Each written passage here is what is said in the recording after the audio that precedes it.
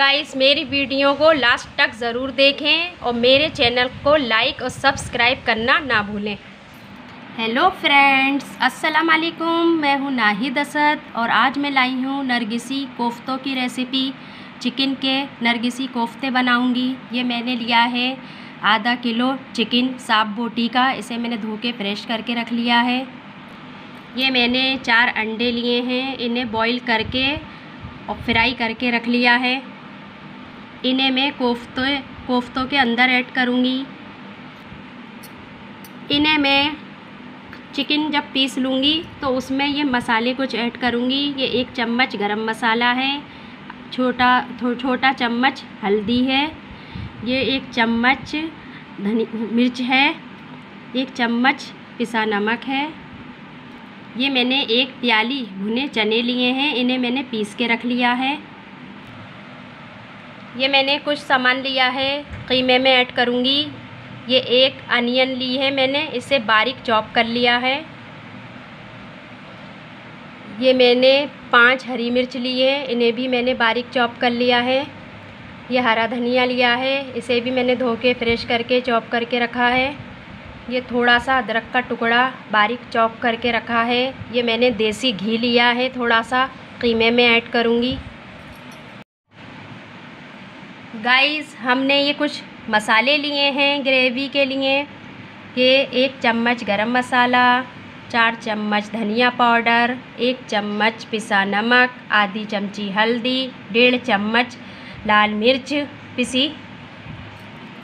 ये एक मैंने बड़ी प्याज पीस के रख ली है। ये हमने अदरक लहसन का पेस्ट बना लिया है। इसमें से थोड़ा मैं कीमे में ऐड करूँगी और ग्रेवी में ऐड करूँगी। ये मैंने कुछ भंगार के लिए खड़े गरम मसाले लिए हैं। आठ दस काली मिर्चें हैं, दो काली इलायची है, दो सफ़ेद इलायची, चार लौंग, दो, तीन दालचीनी के टुकड़े। ये मैंने थोड़ी सी प्याज ली है भंगार के लिए और दो तेज़पात के पत्ते लिए हैं।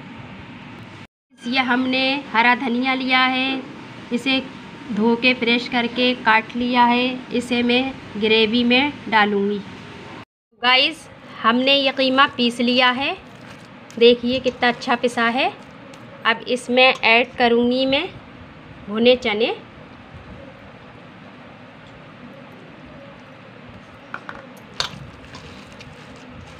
इसमें ऐड होंगे ये मसाले, जो हमने आपको दिखाए थे। एक चम्मच अदरक लहसुन का पेस्ट, एक चम्मच प्याज पिसी। और ये कुछ मसाले। हरा धनिया ऐड होगा इसमें। कटी अदरक, हरी मिर्च कटी हुई, कटी प्याज। ये ऐड करूँगी मैं देसी घी।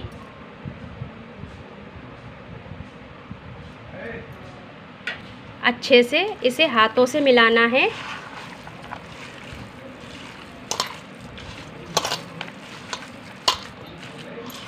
हाथों से मिलाना है। ये आधे चने मैंने जो बचाए थे वो और ऐड करूँगी। हाथों से मिलाने से हमारा कीमा अच्छे से मिक्स हो जाता है। तो देखिए गाइस ये कितना अच्छा मिक्स हुआ है। देसी घी आप डालेंगे तो बहुत अच्छी खुशबू आती है कोफ्तों में। नहीं तो वैसे भी बना सकते हैं आप, नहीं हो आपके पास तो।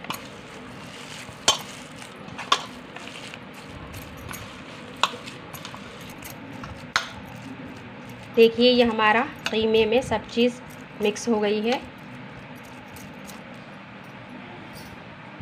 देखिए गाइस थोड़ा सा आप घी का हाथ लगा के और ऐसे करके पेड़ा बना लें।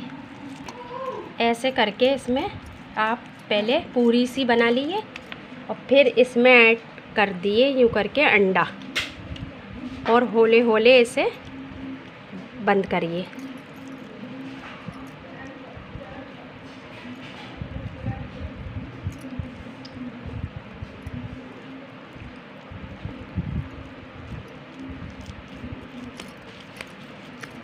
थोड़ा सा कीमा और लगाएँगे इस पर कि अंडा हमारा छुप जाए।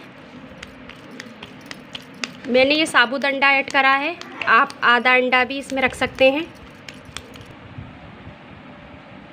देखिए, इसमें हमने अंडा, एक अंडा बंद कर दिया है कोफ्ते में, और ये कोफ्ता हमारा रेडी है बनके।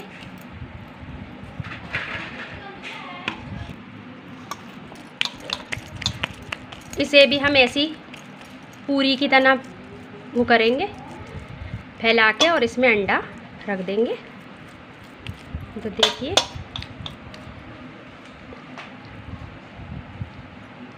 और होले होले करके इसे ऊपर को ऐड करेंगे।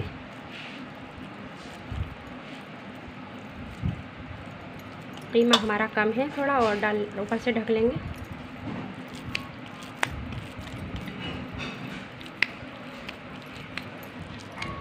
थोड़ा सा घी का हाथ लगा लेंगे।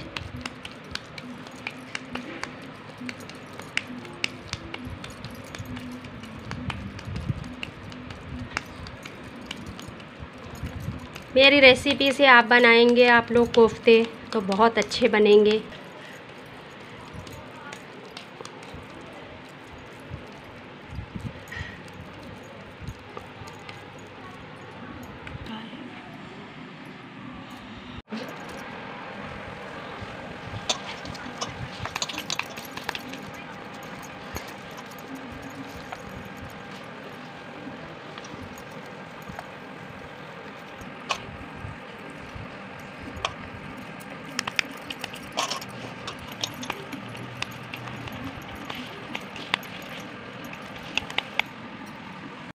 देखिए गाइस मैंने अंडे के कोफ्ते चार बनाए हैं, इसलिए कि मेरे बच्चे अंडा खाते नहीं हैं और बाकी कीमे के मैं सादे कोफ्ते बना लूँगी।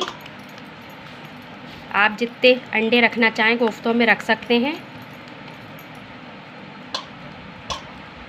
ये मैंने सादे कोफ्ते बना लिए बाकी कीमे के।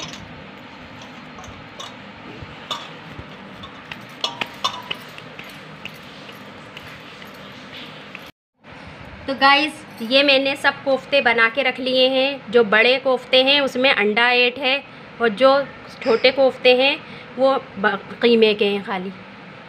अंडों को फ्राई कर लें।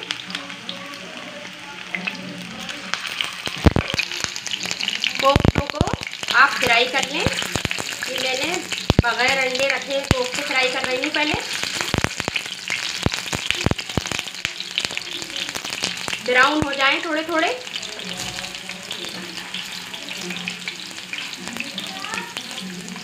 देखेंगे।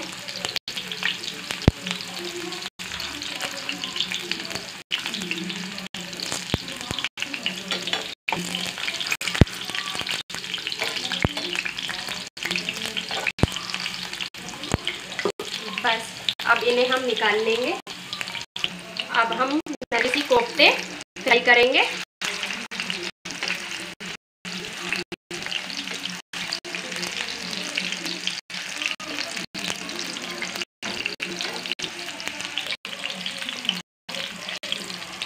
भी थोड़ा कर लेंगे।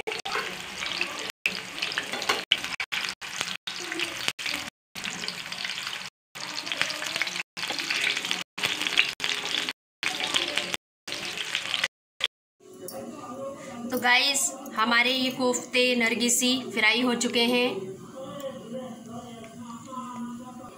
अब मैं ग्रेवी बनाऊँगी, उसमें ये कोफ्ते ऐड कर दूँगी। ये हमने ले लिया है तीन बड़े चम्मच रिफाइंड ऑयल। इसमें ऐड करेंगे प्याज, तेज़पात के पत्ते, खड़ा गरम मसाला।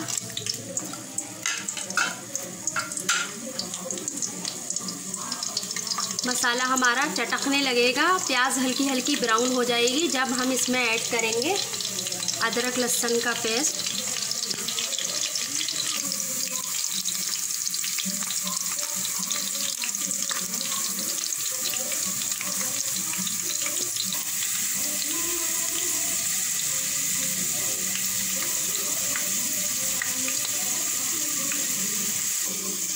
इसमें ऐड कर देंगे अदरक लहसुन।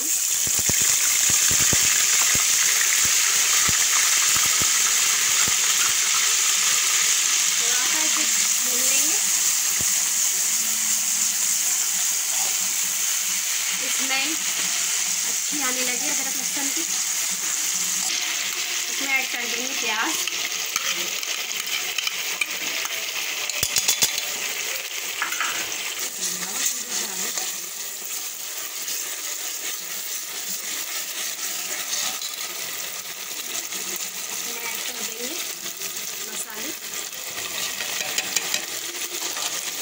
इसे अच्छे से भून लेंगे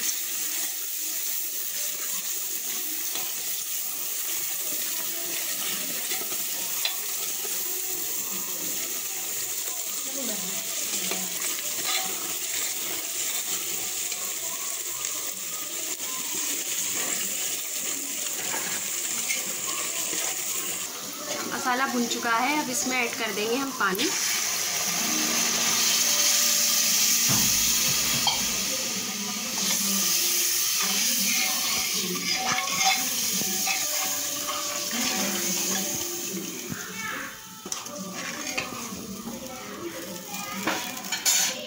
ऐड कर देंगे कोफ्ते।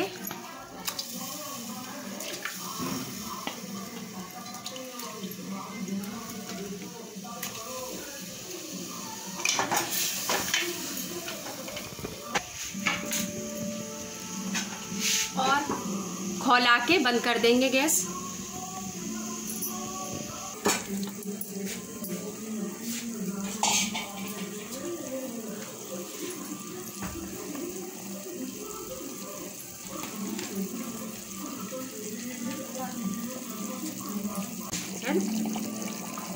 इसमें ऐड कर देंगे धनिया पत्ती और इसे बंद कर देंगे गैस को।